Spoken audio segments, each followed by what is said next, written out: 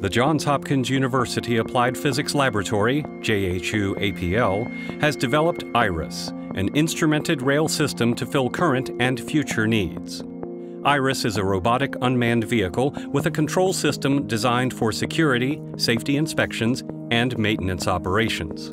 The vehicle can be utilized on any rail system in above ground or tunnel applications. IRIS is compact and optimized for mobile operations. A two-person team can transport, assemble, and operate the vehicle. A ruggedized portable base station provides a single user interface for controlling the vehicle, reviewing real-time telemetry, including live and recorded video, acquired photos, vehicle status, and environmental conditions. A graphical user interface provides streamlined access to controls, data, and routine recurring operations. Current rail riding maintenance and inspection vehicles are large and expensive. Iris's modular design makes it easily transportable, allowing it to be quickly deployed wherever needed. Iris also includes expansion ports to accommodate a variety of additional sensors including chemical, radiation, or optical for routine or emergency operations. It is controlled using 900 MHz radio 2.4 GHz radio, Wi-Fi, and cellular protocols.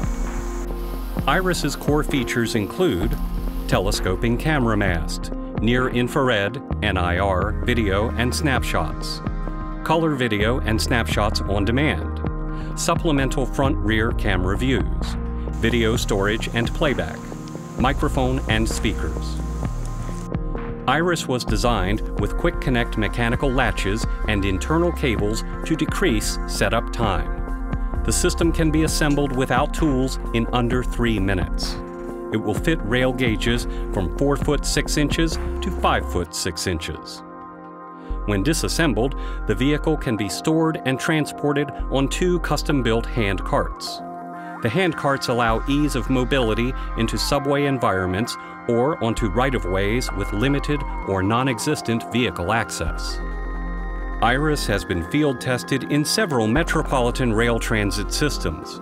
JHU APL developed IRIS with funding from the Transportation Security Administration, TSA, and input from transit system operators and their security professionals. JHU APL is seeking technology transition partners to commercialize the IRIS technology.